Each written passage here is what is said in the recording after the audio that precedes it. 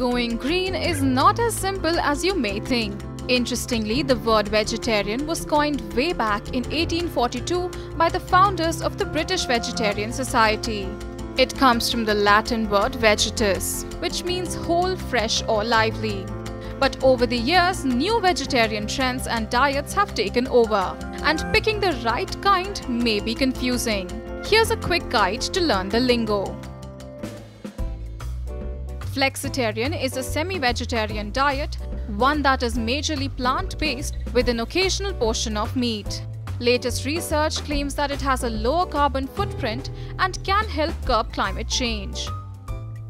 A locavore is someone who is committed to eating food that is grown or produced in their local community.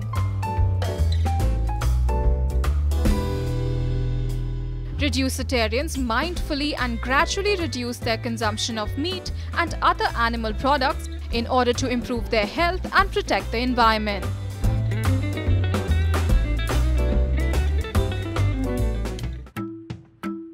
Ovo is the Latin word for egg and lacto refers to milk. Ovo-lacto vegetarians don't eat meat or fish, but consume products produced by animals like dairy and eggs. Raw vegans combine the concept of veganism and raw foodism. They give up all animal products, any food that is processed, and also food that's cooked at high temperatures. There are many reasons people choose to be vegetarian. What's yours?